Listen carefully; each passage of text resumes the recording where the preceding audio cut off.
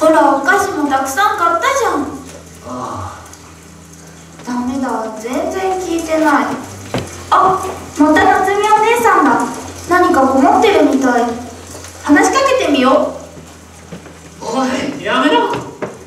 大丈夫だよ。ほら。いやいやまつりちゃん。あらタクト君にラク君こんにちは。どうかしたの？お兄ちゃんと一緒に来たんだけど休養はできたって先に傘持って帰っちゃって。そうそうなんだ。あのさもしよかったら俺の傘で家まで送っていこうか。えいいの？ももちろん。ありがとう。助か